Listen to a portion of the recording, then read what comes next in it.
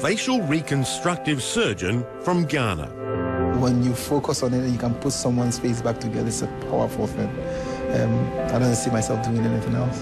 Dr. Kofi Boahene is at the forefront of incredible surgical procedures, from removing tumours around the brain to correcting paralysis, deformities and trauma to the face. He's transforming lives around the world, and this week he shares his story on African Voices. There are a lot of children in Africa just like me, probably more talented, looking for the opportunities. I got one. And I'm hoping that this, they hearing this, would encourage them not to give up.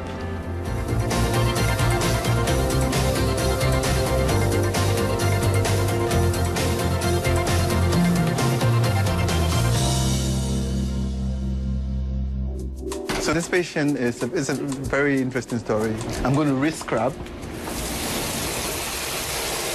We're going to take some cartilage from the rib to help build the nose up. So that's what we'll do today.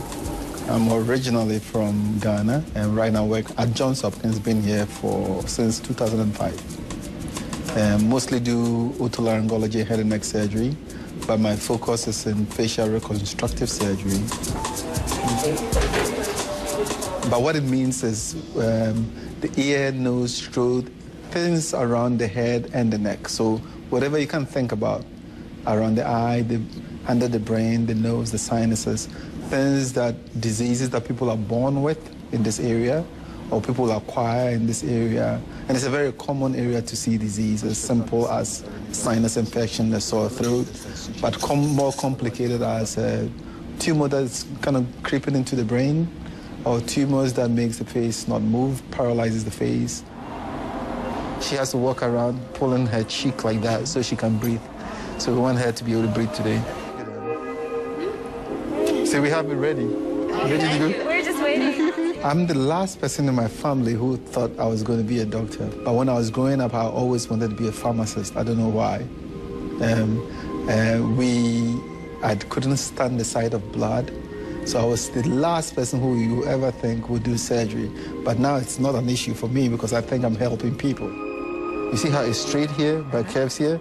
Because I, the septum is curved, and I put the curve to the septum. But if we do the nose will be crooked. As I was training as a head and neck surgeon, most of the things that we took, took care of are cancers that grew up in the face. And I realized that we can cure people, but they look disfigured. And they will always tell you, um, how long do I have to live? And you tell them, when we cure you, you have a long life to live. But the most important question that people usually ask is, how am I going to look? Would I scare my grandchildren? And so after I learned to really take care of tumors, I, I, felt, you know, we need to be able to put people back together. And every little incision that you do leaves a scar that you can't hide with makeup easily. So you have to be very, very careful what you do. Um, things are very compact in the head and neck region. One small thing affects multiple things. So it's that challenge to know precisely what you're doing that really keeps us innovating all the time. Okay. Can we have another one? The face is such an, an intricate part of uh, the human culture that when it's out of place, interactions just really end. And so when you focus on it and you can put someone's face back together, it's a powerful thing. Um, I don't see myself doing anything else.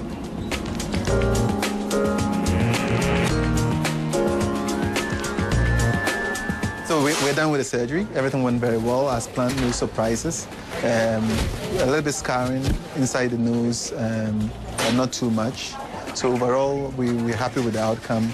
It looks good, and she should be able to breathe very well. I like doing surgery. I mean, I have, we have fun doing surgery.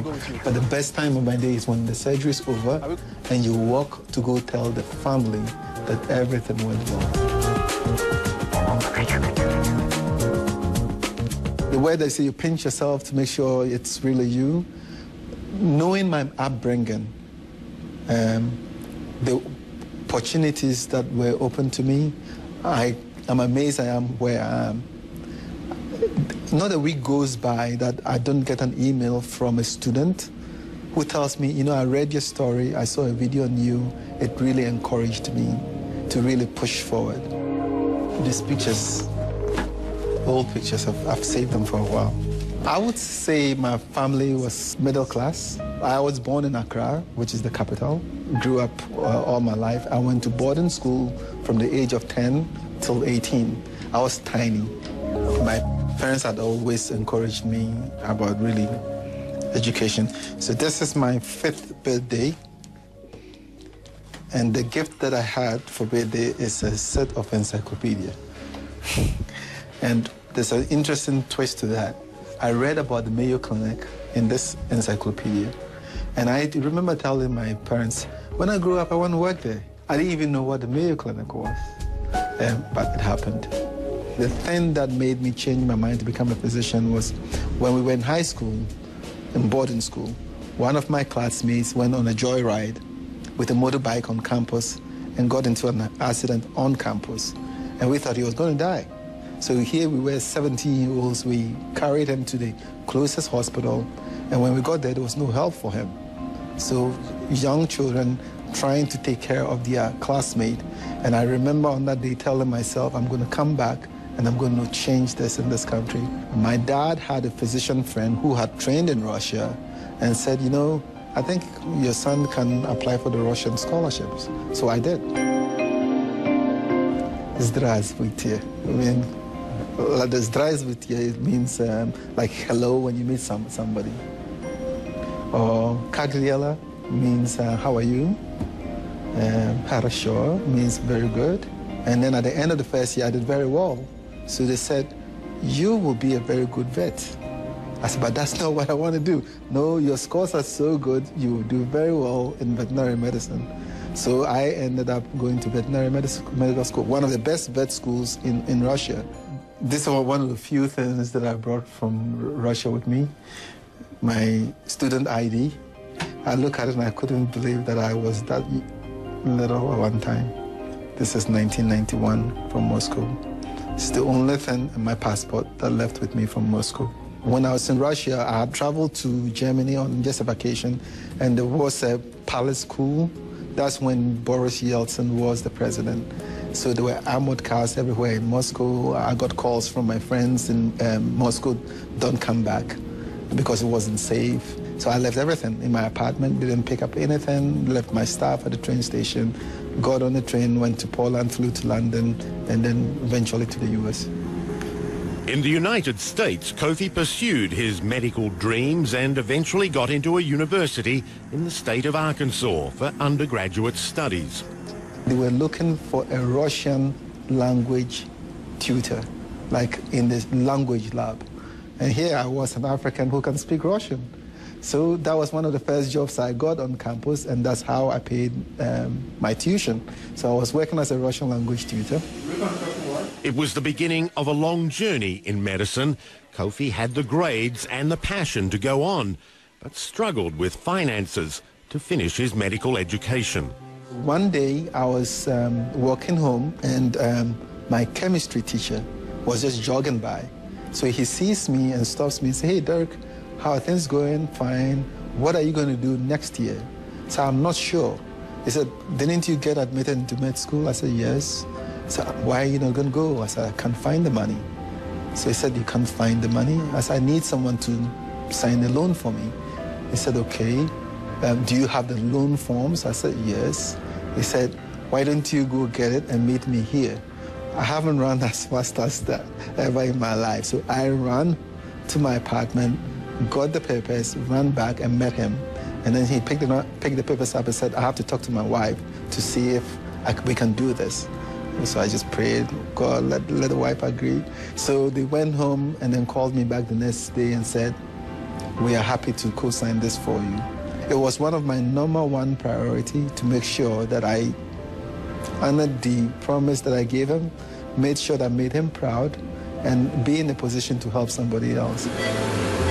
In 1999, Kofi graduated from a medical college in Nashville, Tennessee.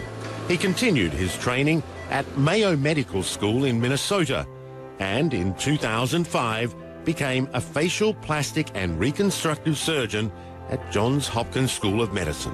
One of the best moments in my career that I've ever had was a four-year-old who was born with paralysis. And one early morning, I got an email. You could tell it was like 3 a.m. in the morning. The dad sent me an email said, for the first time in my life, I can see my son smile. And this must have been like three, four months after, after the surgery.